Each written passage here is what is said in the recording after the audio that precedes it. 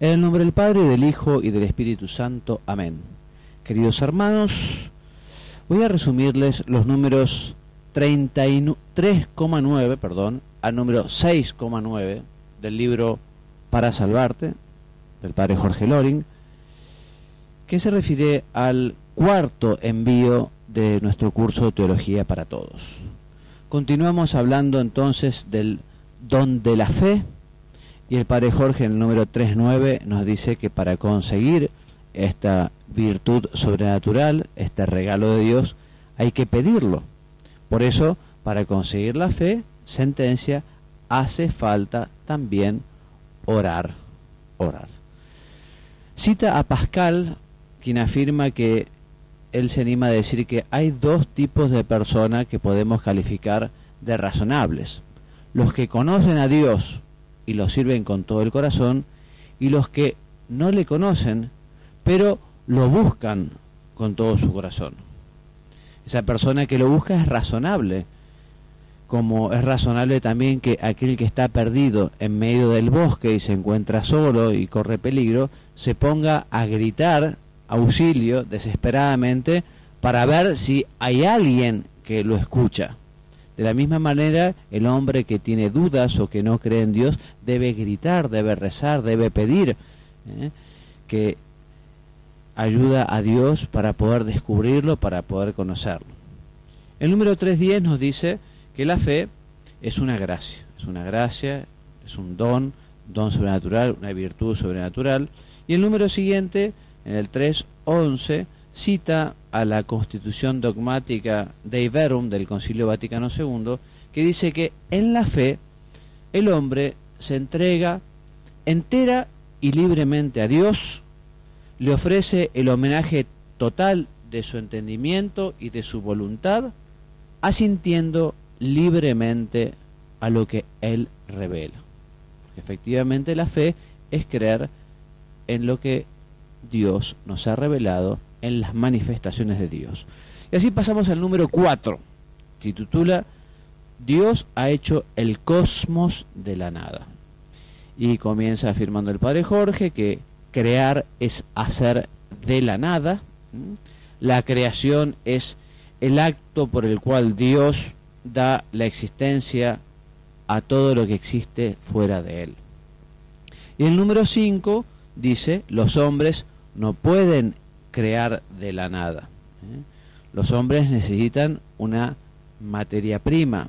El hombre se limita a transformar. Dios crea de la nada. La, la existencia o la exigencia del creador es lógica porque también de la nada nada sale.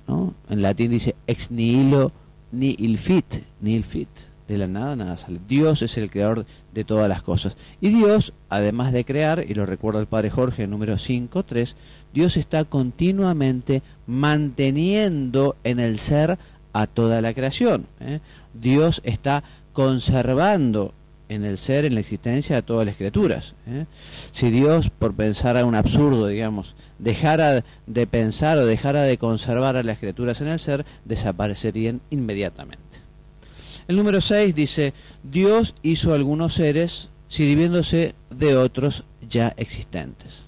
O sea que Dios al crear no creó acabadamente, en el sentido de en su totalidad, ¿eh? Dios no dejó plenamente terminada o acabada la creación, sino que la ha dejado en manos de otras criaturas. Por ejemplo, los hombres. Los hombres participan en la labor creadora de Dios, por ejemplo, cuando engendran a un hijo. ¿eh? Y también la creación tiene sus propias leyes que evoluciona y que continúa entonces transformándose.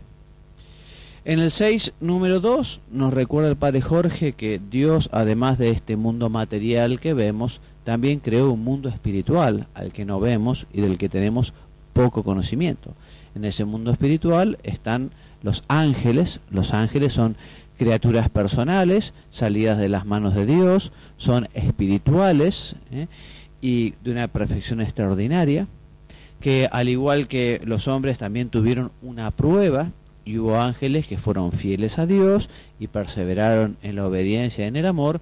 En cambio, hubo otros ángeles que se rebelaron contra Dios, que por soberbia rechazaron a Dios, ¿eh? y allí lo encontramos a Luzbel Lucifer, Satanás y otros ángeles rebeldes.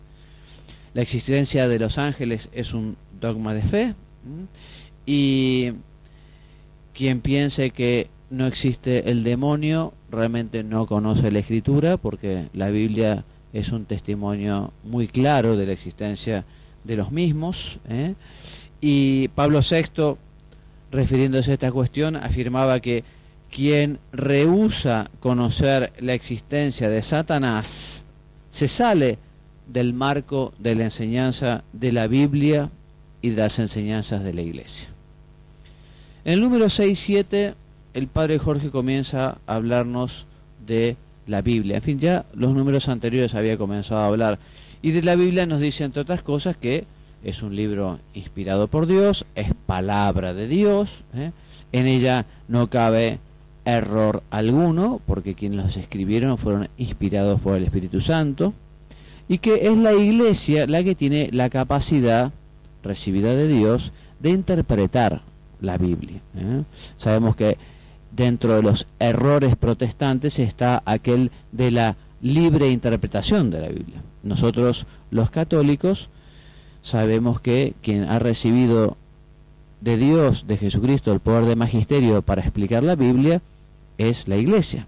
Y el Concilio Vaticano II, en su constitución dogmática de Verbum, en el número 10, nos dice que el oficio de interpretar auténticamente la palabra de Dios escrita o transmitida ha sido confiada únicamente al magisterio de la Iglesia, cuya autoridad ejerce en nombre de nuestro Señor Jesucristo. El Padre Jorge nos recuerda aquello de los géneros literarios, porque en la Biblia encontramos textos históricos, líricos, épicos, ¿eh? y para interpretarlos hay que tener en cuenta estas cuestiones. Nos recuerda también aquella verdad tan cierta que es que la mejor forma de explicar la Biblia es por la Biblia misma.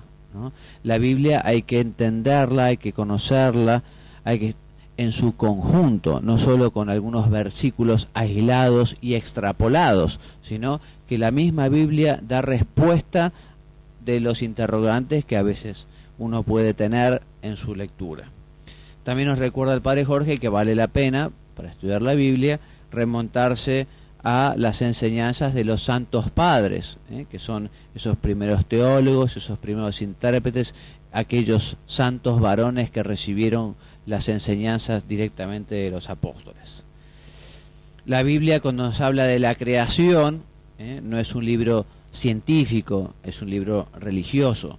Y la Biblia no nos quiere enseñar tanto cómo es el cielo, sino cómo ir al cielo.